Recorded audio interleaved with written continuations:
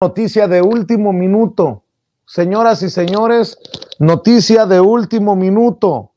Felipe Calderón ya se pronunció sobre el caso Genaro García Luna.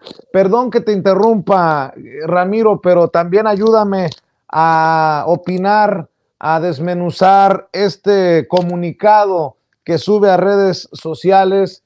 Felipe Calderón dice, con respecto al veredicto del caso García Luna, comparto el siguiente comunicado.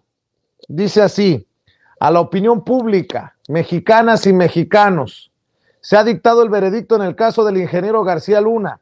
Al respecto, me permito manifestar lo siguiente. Soy un hombre de leyes y respeto las resoluciones de los tribunales que actúan conforme a derecho. En mi desempeño como presidente de México durante toda mi vida, he estado siempre del lado de la justicia y de la ley y siempre estaré del lado de las víctimas. Esa resolución no demerita la lucha valiente de miles de policías, soldados, marinos, fiscales, jueces y servidores públicos de bien que defendieron a las familias mexicanas de la delincuencia.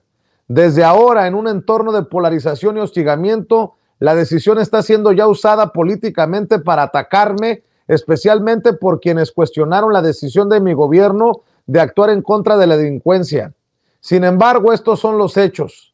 Como presidente de México luché con toda la determinación en contra de la delincuencia como la ley, con la ley en la mano, sin dar tregua ni hacer distinción entre grupos. Jamás negocié ni pacté con criminales. Jamás usé la investidura presidencial para abogar por sus intereses.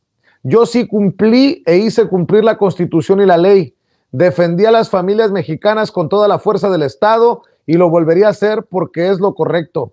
He sido el presidente que más ha actuado en contra de la delincuencia organizada. Luché para construir un auténtico Estado de Derecho sin el cual no hay libertad, justicia ni desarrollo. Combatí a todos los que amenazaban a México, incluyendo, por supuesto, al llamado Cártel del Pacífico. Prueba de ello es que los delincuentes confesos que han sido utilizados como testigos fueron también en su gran mayoría perseguidos, detenidos y extraditados por, por mi gobierno. Gracias a que enfrentamos a la delincuencia y a todos los cárteles, el crimen se iba debilitando y el Estado se estaba fortaleciendo. Recuperamos territorios que estaban bajo control criminal y se detuvieron delincuentes de todas las organizaciones. Los decomisos de armas, drogas y dinero alcanzaron cifras sin precedentes. La política de seguridad dio resultados, no solo en los casos más emblemáticos, sino a nivel nacional. Los principales indicadores de criminalidad iban a la baja al terminar mi gobierno y esa tendencia se prolongó algunos años más. La lucha por la seguridad de los mexicanos no era responsabilidad de una persona, fue un esfuerzo de miles de soldados, marinos, policías, ministerios públicos, mujeres y hombres que arriesgaron y en muchos casos perdieron la vida por defender a las familias mexicanas. A ellas y a ellos y a los familiares de los caídos les digo hoy que nunca duden, porque la ruta que trazamos fue la correcta luchar con valor contra los criminales, apostar por la construcción de las instituciones civiles de seguridad y proteger a las víctimas.